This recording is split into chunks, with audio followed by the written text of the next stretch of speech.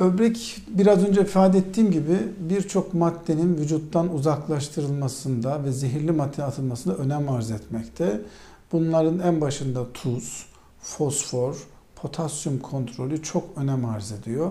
Çünkü biz eğer tuzu çok tüketirsek vücutta aynı zamanda sıvı birikmesine ve buna bağlı olarak kan basıncı yüksekliğine neden olabilir. Hem bu böbrek hastalığının ilerlemesine hem de kalp damar hastalığı, beyinle ilgili olayların gelişmesine neden olabilir. Bu nedenle tuzu vücutta az tüketmesi çok önemli. Ayrıca potasyum da böbrekten atıldığından dolayı böbrek hastalığı ilerlediği zaman ve bazı ilaçlar da potasyumu kanda yükselttiğinden dolayı diyette potasyum da kısaltılması e, çok önem arz etmekte. Yine fosfor e, böbrekten atılamayacağında maalesef işlenmiş gıdalarda çok fazla bu nedenle de işlenmiş gıda tüketmemesi çok önemli.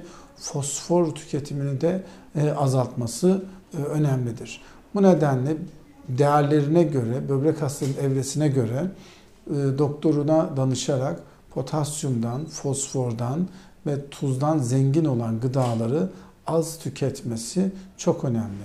Eğer bir de böbrekte protein kaybı çok fazla ise proteinden zengin değil, özellikle hayvani proteinden fakir beslenmesi yine önemlidir. Müzik